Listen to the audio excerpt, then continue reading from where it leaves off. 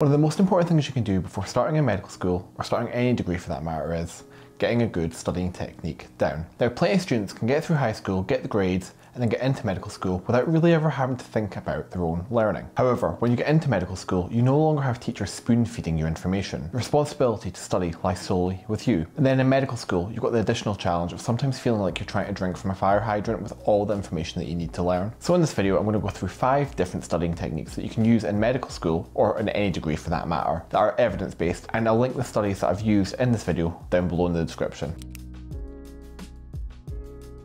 Hi, my name's Colin and I'm a junior doctor working in the UK. In this video I'm going to talk about retrieval practice, spaced repetition, interleaved practice, the Pomodoro technique and metacognition.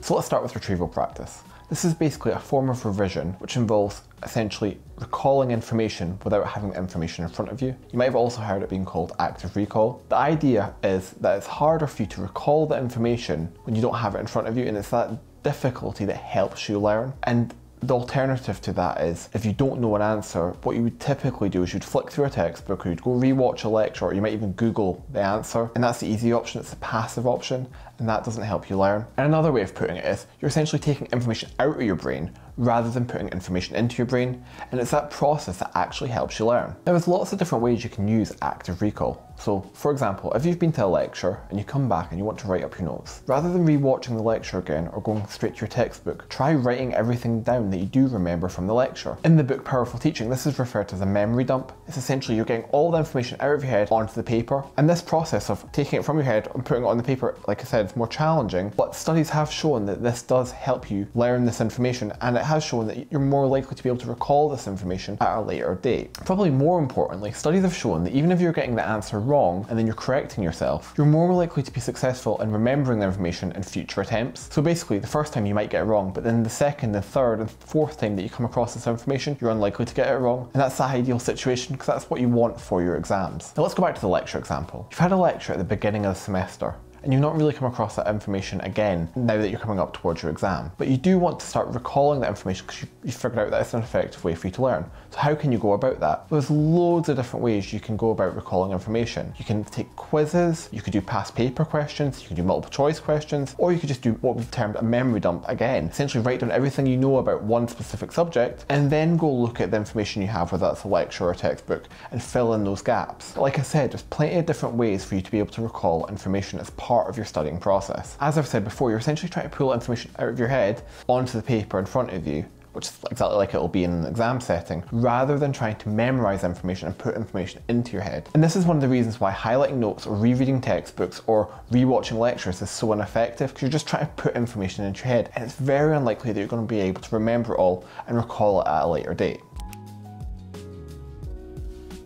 Now moving on to spaced repetition. Now this idea came from a German psychologist in the late 1800s by the name of Hermann Ebbinghaus. And basically what he did was he decided he was going to learn a list of random objects and he went through it and went through it and went through it until he memorized them. And then he just left it. And he left it and timed how long it took him for him to forget all that information. And then he went back and relearned the list in full again. And then he did the exact same thing he timed it see how long it took him to forget all the information again. Now what he found was the second time he learned information, he was able to learn it quicker and it also took him longer to forget that information. So what he did was he did it again for a third time and this time he relearned the list and timed how long it took him to forget that information again. And this time it took him even longer to forget the information and he was able to learn it even quicker the third time around. And you can repeat this and repeat this and repeat this. Now essentially what this is showing is when you learn information for the first time, you're likely to forget it and you're likely to forget it pretty quickly. But if you come across that information again, well, you'll forget it a little less quick and you'll be a little bit quicker when you come to learning it. And if you keep repeating this process, eventually it'll be a really slow process in forgetting the information. If you do forget any of it, it'll be really quick just picking that information back up again and you will retain it. And this theory has been applied to a graph and this graph is known as the forgetting curve. And you can see it here. Initially, you forget the information really quickly, but then the second time round, you forget it a little less quick and it takes you a little bit less time to actually learn the information and so on and so on and so on. So how does this all fit into medical school and studying? Well, the whole idea is you're essentially trying to overcome the forgetting curve. So in order for us to retain facts in medical school, we have to come across information again. We have to space out our learning. We may come across information at the beginning of a semester, but then we need to re-expose ourselves to this information midway through the semester and then again as you head towards the end of the semester so that you don't forget the information. So you might try and learn the fact cranial nerve 4, the trochlear nerve, innervates the superior oblique muscle. And you've learned that at the beginning of the semester. But then you might forget that after a couple of days. So then you go back and you go back over it again and you remember the superior oblique muscle is innervated by cranial nerve 4, the trochlear nerve. And you might remember that information for a little bit longer, so you remember it for a week this time, but then you forget it again. So you go back through it again and you go trochlear nerve, cranial nerve 4, innervates superior oblique muscle. And this time you remember it for a week and a bit or two weeks, and so on and so on and so on. If you keep re-exposing yourself to the information, you're less likely to forget it over a period of time. So that when the exam eventually rolls around, you've got that down. And if you apply that more broadly, so say you've went and learned all 12 cranial nerves, and you've got that information down, you know all 12 of them, you know all their innervations, you're happy with it. If you don't go back over that information before the exam, well, you're likely to have forgotten it. You might find yourself in a situation going, what does cranial nerve 4 do again? What cranial nerve is a trigeminal nerve? Now, to overcome this issue, you can go back over the methods I discussed previously. You can start doing things like quizzes or past papers or taking part in multiple choice questions. And through doing this, you might come across the cranial nerves five or six times before your exam. So when you start studying towards when you've got your exams, you'll just keep repeating the same thing over again over a period of time. And it's through this that you'll overcome the forgetting curve and be able to retain the information for the long term, which obviously is going to help you get through your exam.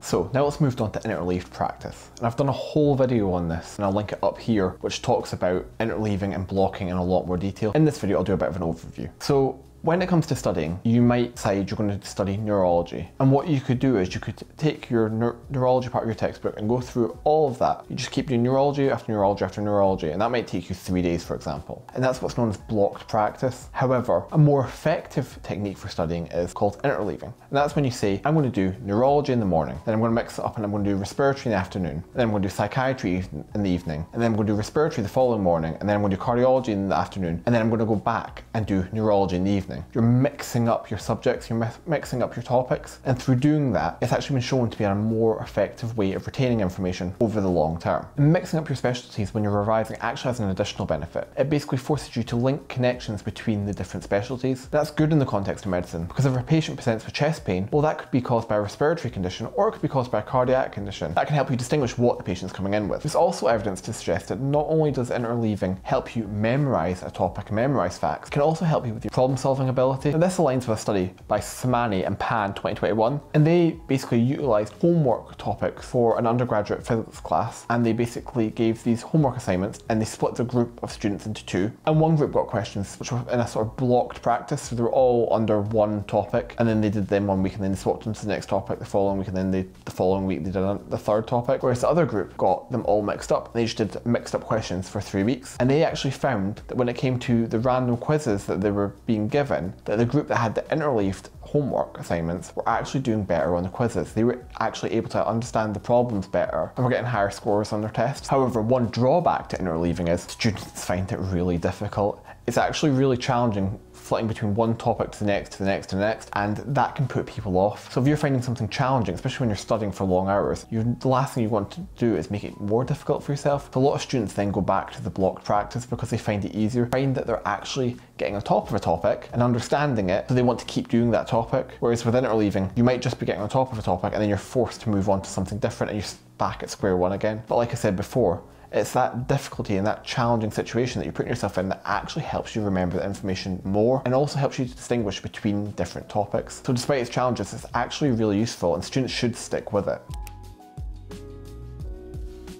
So now moving on to the Pomodoro technique. The Pomodoro technique is a way to maintain focus and fight procrastination. So the idea is you can break down any task into much smaller components and that'll help you focus. The typical time scale used for the Pomodoro technique is 25 minutes to 5 minutes and the 25 minutes is basically an intense period of focusing on your work and then you're rewarded with a 5 minute break. This technique was developed in the 1980s by a university student called Francesco Cirillo. Might not got the pronunciation of that right, but anyway, moving on. What he did was he was struggling to study for his exams, like lots of students, and he couldn't maintain focus. And he told himself, right, I'm going to sit here for 10 minutes, I'm going to get 10 minutes of work done. Break it down into smaller components, that'll help. And what he did was he took one of those tomato kitchen timers, and Pomodoro is basically the Italian word for tomato, and he placed it on his desk, twisted it to 10 minutes, and got through the work. Now eventually he drew this out a bit more, so what he would do is he would set the timer for 25 minutes, do his work, and then, like I said before, reward himself with a 5 minute break. And that was considered one Pomodoro, 30 minutes. Then he would do it again, another 25 minutes of work, five minutes of rest. Two Pomodors. And then you keep going, so you get three, you get four, and then you get five. And after four or five, you can give yourself a bit of a longer break. So rather than giving yourself a five minute break at the end of the fourth one, you might give yourself a 30 minute break. So you can go get something to eat and you can wander around and just get up from your chair essentially. Well, why does this technique work? Well, according to this book, it limits the amount of time the brain has to focus, it demolishes the tendency to procrastinate, it reduces distraction born of multitasking, and it pushes the individual towards completing tasks rather than just working on them. As I said before, the typical timing for this is 25 minutes of work and 5 minutes of rest, but you can mix it up a little. If you're finding it easier for you yourself to do 50 minutes of revision and then take a 10 minute break, well go for it. Or maybe the opposite of that, you're finding 25 minutes is too long, so maybe you want to do it in a bit of a shorter burst. You can even reduce it to like 20 minutes for example, and then give yourself a 2 minute break. You can mix it up a bit. The sort of classical used Pomodoro technique is 25 minutes of work and 5 minutes of rest.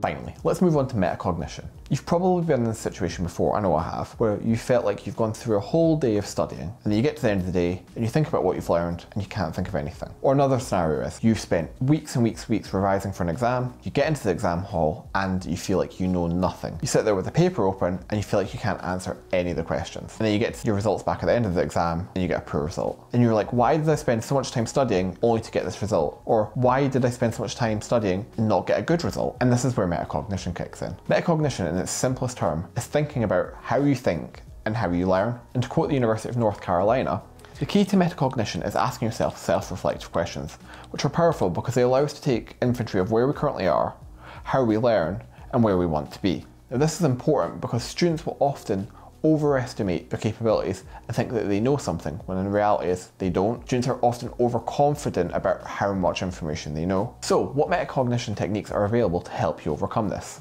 Well number one, the first thing you can do is look at any previous exams tests you've done where you thought you'd studied well but then didn't quite get the grade you were expecting. This can lead you to picking up on topics that you don't know very well and it can also get you to start questioning your own study habits. The second point is you can also start to reflect during a study schedule. So after a week of studying, you can start to think about is this studying working well? Am I retaining the information? Am I getting through enough work? Am I already feeling burnt out? If you reflect on how it's going after one week, you have plenty of time to make changes. Metacognition also encompasses practice questions because essentially practice questions are forcing you to recall information and check if you're getting the right answers. Through this you can reflect on what you do know and what you need to do more work on. Hopefully you found this video helpful. I've done a few other study related videos in the past and I'll link these up here. If you have found this video useful please give it a like and subscribe to my channel. Thanks.